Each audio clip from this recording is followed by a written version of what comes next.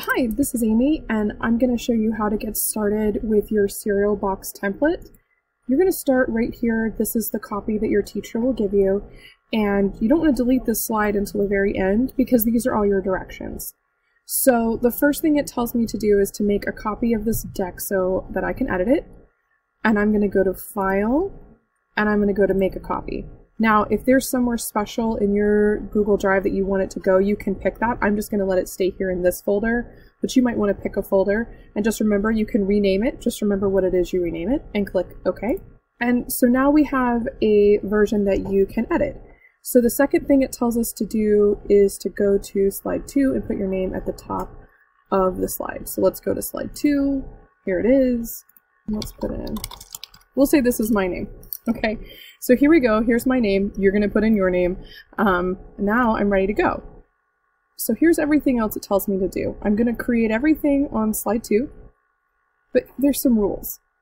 I can only use Google for images about my literary or historical character.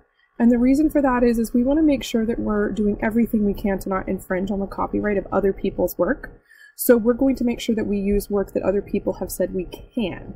And the way we're going to do that is you have all of these links down here and all of the images here are images that the artists have said that you can use. Now there's a caveat. It is still the internet, so if you decide to be silly and search for inappropriate things, inappropriate things will show up. So it's really important that you're responsible and you make responsible choices so that you don't get yourself into trouble by making poor choices and searching for things you shouldn't search for. Okay? So this is your template and eventually what you'll do is you'll print this and you'll be able to glue it together and it will make a little miniature cereal box. So it's just totally blank. Nothing you put on any of these tabs will be seen. So all along the top and all along the bottom and then this one side tab, you won't see any of that information because um, that'll be glued. So you're really just focusing on this box, this box, this box, and this box. So just the four boxes in the middle are the ones that are important, okay? So the first thing I like to start with is some background colors because I don't just want the background of my cereal box to be white. So what I would do is go up here to where it says shape. I'm going to pick a rectangle and I'll just trace over the lines that are there. I don't want to go over it because eventually I'm going to have to fold this and I want to know where the fold lines are still. So it's going to default to a color I may not want, so I can go there. I can also pick custom colors. Um, I'm just going to start with like a light color and then you want to make sure that you pick the same color there. Um, and then the cool thing is, is that you can keep redrawing that. So now I have some nice background color and I'm ready to get started with my designs. Now the way I'm going to do my designs is I'm going to find things on the internet. I'm going to use all those different resources that we talked about right here to put them in here. So I'm going to go grab a few things and then I'll come back and talk to you a little bit. Alright, so as you can see I have a few images here. Now I have a problem with one image because it has this white background and I really don't want it to have a white background. So I'm going to show you how to get rid of that. Um, what you'll do is you'll go up here and you're going to click on this first link that says remove.bg and it's going to take you to the remove BG website and you're going to select a photo. Um, you have to go find whatever photo it is. So here's mine. Click OK.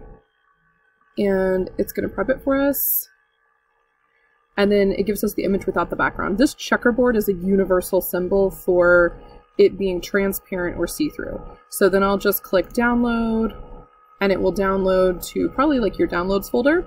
And now you have a background, an image that doesn't have a background. So you'll just go back to your image here and I'm gonna go insert, image, upload from computer. I'm gonna go to my downloads and there it is. And see now I can have this figure without a background. So I'll get rid of this one. Okay, so I really liked um, these balloons. I got these from Pixabay. So I can just grab different tools to manipulate them.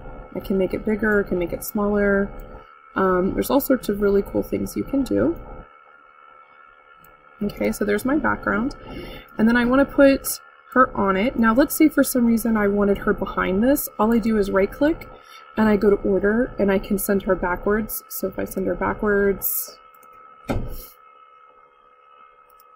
she ends up behind the balloons, which is not where I want her. So I'm going to go to order and I'm going to bring her to the front. So there she is. And let's say that I just want, um, I don't need all of this character, right? I just want the top half of her, so I can just double click like that. And then I can just crop her, right? So here she is. And let's say I want her facing the other way. All I have to do is just pull it out the other way, and then there she is.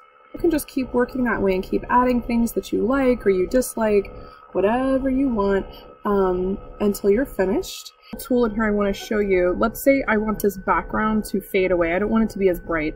So I can, what I can do is just make sure I'm copied it and go to right click. And then if I go to format options, I have all of these image options. I can rotate it, I can change the position, I can recolor it. So see all these different filters I could apply? Um, I can adjust it.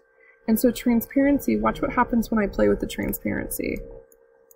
Do you see how it makes it lighter? It makes her pop out more. Isn't that kind of fun? Um, I could make it brighter. There's a lot you can do. So it's up to you. Um, and you also can manipulate the figure as well. So I'm going to do format options. Same thing. Make sure I'm clicked on the person.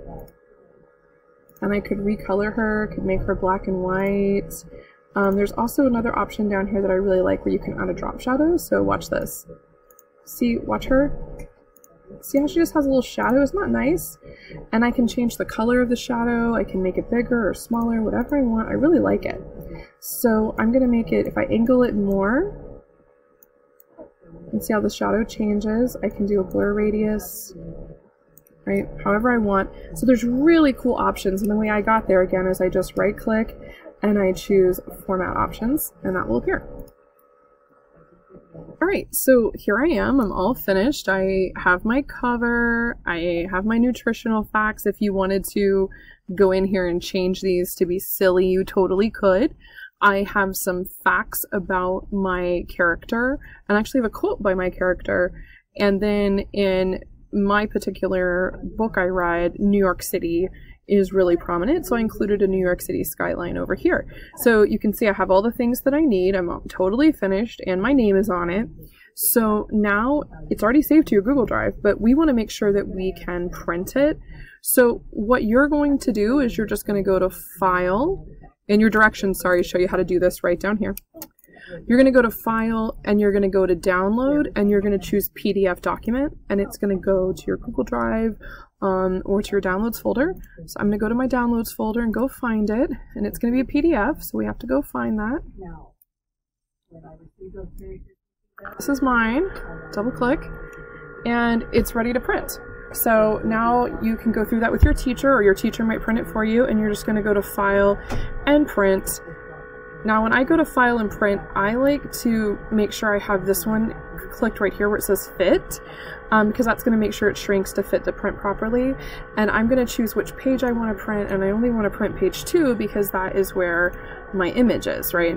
The directions are page one, I don't care about that, right? So, and you need to make sure you choose the right printer and all of that kind of stuff, and then you'll print it, and your teacher will help you assemble it, and you'll have it ready to display. So that's all there is to it. Um, I really hope you enjoy making the project. Have a great time.